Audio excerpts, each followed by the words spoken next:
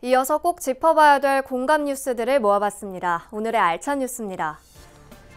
정부가 코로나19 국면 이후 온라인 경제로 전환이 가속할 것으로 보고 대표적인 비대면 디지털 여가 문화인 게임을 새 성장 동력으로 키워나가기로 했습니다. 문화체육관광부는 게임산업 진흥 종합계획을 발표하고 적극적인 규제 제도 개선으로 게임 산업의 혁신 성장을 지원하는 등 4대 핵심 전략과 16개 역점 추진 과제를 내놓았습니다. 여성가족부가 디지털 성범죄에 대한 국민의 경각심을 높이고 디지털 성범죄 근절을 위해 안전할 권리 캠페인을 시작했습니다.